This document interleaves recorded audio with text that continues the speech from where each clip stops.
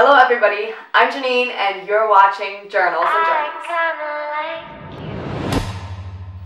So welcome back to my channel. Today's video is going to be a little different from everything I've done so far on my channel.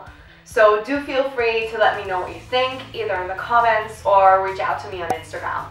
So I know whether this is the type of video you'd like in the future or not. So a lot of people, especially during the last two years, have asked me, why do you go to concerts alone? Well, the easy answer is I just don't have a lot of people that would go to those concerts with me, which is totally fine. Like, my friends have a different taste in music, a lot of them, which is totally cool with me. But on the other hand, I don't mind going to concerts alone because it can have advantages. But today, I definitely want to talk about what you should consider, what you should prepare yourself for if you decide to go to a concert alone. And that is starting off by thinking about what kind of a ticket you want, whether you want a general admission ticket or a VIP ticket. Then of course also depending on the band, it'll mean that you have to get there at a certain time in order to have a good spot if that is what you want or then come later. Because general admission tends to be let in later than VIP. So if you do have a general admission ticket, but you show up very, very early and there's VIP people, you will end up behind them anyway. So that is something to consider with the time of showing up. Then, of course, you have the aspect of maybe staying overnight. If the concert is not in your town, which is basically, I'd say almost every concert I go to, then you need to think about whether there is a place you can stay at. If you don't have any friends or family in the area, an obvious choice would be a youth hostel or even a hotel. I tend to look what's close to the venue so I don't have to like take any buses, um, trains or anything by myself at night or have to pay for a taxi because most of the concerts I go to are in Germany, which means there is no Uber around or anything like it, so you do have to take a taxi, which can be quite expensive sometimes. But what you can also do is, thanks to social media, find people that are interested in the same artist, like in the same band, and maybe reach out to them on Instagram or Facebook, whatever, and just be like, hey, I saw you were going to that concert or you like that band, are you going to any of their shows this tour? And if yes, is there maybe a way we can go there together or like book a hostel, a hotel room together? And a few people might be up for that because sharing costs, we all know it can be quite expensive to travel for your favorite bands. So sharing costs is always a nice thing. Plus you will already have people there that you know so you won't feel as alone, especially if you're going to a concert by yourself for the first time. That can be kind of strange because a lot of people will go in their friend groups and you'll just be standing there like, hi. And how could I forget this?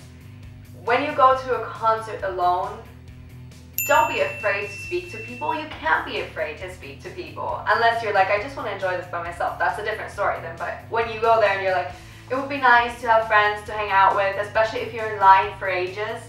Like the longest I've waited in line was for Palaye Royale, I believe. Um, I came there at like 11.30 in the morning and I went there by myself, which means I would have sat there for eight hours about by myself, not talking to anyone, which would be weird. I don't know. I know it can be quite daunting to approach people you don't know, but you have a big, big, big advantage in that kind of scenario over different social scenarios, and that is that all of you have something in common, which is the artists you've come to see.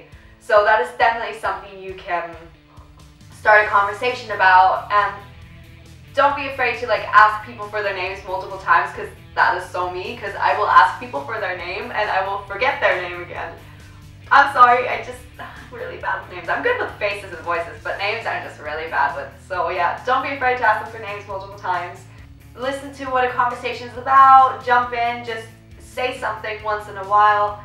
And yeah, and if you don't want to talk, turn on some music and for sure some people will join in singing and then you can start talking after that. So let me give you a few examples of that. let me maybe, yeah, let's start with Counterfeit, my first ever gig. And I went there by myself because at the time I had even less friends that were interested in that kind of genre by now. I have my little group of girls that I meet up with or I've, I have two friends in my closest premise you could say that like Counterfeit now, but back then it was just me. So I came to the venue, there were hardly any people there and the people that were there sat in their friend groups and I was super shy. I just didn't want to talk to anybody but at the same time I didn't want to wait there by myself for ages. Then there, I saw this girl standing there by herself as well so I was like either she's waiting for people or she's actually here by herself. So I just went up to her and I was like, hi, uh, my name is Janine. I don't know, I just saw you from over there standing here. Are you waiting for anybody or are you here by yourself? Like, what's the deal? She was like, yeah, I'm here by myself. So I was like, oh yeah, me too. And then we just kind of like got talking. We basically spent all of the evening together, which was really nice, especially like at a first concert to have someone there to share the experience. And uh, let me give you a more recent example maybe, which uh, was by which was the Liverpool show of the Faim on the 30th of August, I believe that was. Um, they had two shows that day. One was an acoustic one and one was like the actual bigger show at night. I went to both shows and I went to the acoustic one first. Came to the door about 30 minutes before opened and there were still a few people like out there. Not many, but like a few were still like waiting there. And I see this girl with pink hair and I was like, she looks really familiar. I feel like I follow her on Instagram. Here's me trying to be safe. So I get up my phone, I look her up on Instagram, and I'm like, oh, okay, that's her. Okay, her name is Femke, fine. So I just like go up to her and I'm like, hi, sorry, this might sound really millennial, but I think I follow you on Instagram. Basically, long story short, she ended up sleeping over in my hotel room because uh, when we went to her hostel at night, people got arrested there, and I was like, yeah, no, you're not sleeping here. Like, grab your stuff and sleep over in my hotel room. And that's just a millennial love story, you could say. We got along really well, we vibe very well, and that is something that you maybe wouldn't experience as intense when you go to a gig with friends. Don't be afraid to be yourself. Like, don't be afraid to be awkward. I can be hella awkward in social situations especially if I haven't met people. Like I might say some stuff or like introduce myself in a really weird way and I'm still kind of self-conscious about that. But I try to just get over it because we all do it. We're all awkward sometimes, which again, then nobody will really judge you for. And even if in the first instant they might think like, who's she's weird or he's weird, they will get over it once you started talking a bit. So if you're not quite at the point where like I can go to a concert alone, maybe start going with friends and if that isn't an option, maybe just in your everyday life try venturing out a bit, try building up confidence. A good way to do that is for example if you go to a coffee shop and you order a coffee, just like chat to the barista for a bit or go up to people and be like, hey, sorry, uh, do you know where XYZ is? And they might tell you, just like start little conversations and that'll kind of help you get over the fact of approaching people and make it less daunting approaching people, especially if you're a naturally shy person.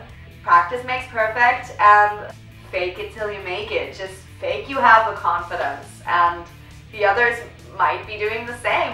You never know. So a little recap if you're going to a concert alone, make sure you have all your organization set. So what kind of a ticket do you have? Where do you need to be where? What time are you taking a train or bus?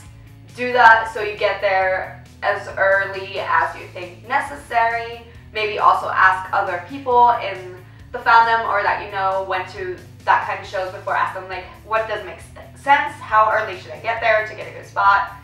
Make sure that all is like set up, you know where you need to go. Don't be afraid to approach people, just go for it, talk to them, get over that fear of being awkward, reach out to people beforehand, get to know them a little bit so it's not quite as daunting when you get there. So yeah, that's it already. Those are my tips if you're going to concerts alone or planning to go to concerts alone. Like I said, if this is a video you like, give it a thumbs up and I'll make similar ones in the future if you like to. And besides that, hit the bell, hit subscribe, thumbs up, and I'm looking forward to seeing you in another video. Bye!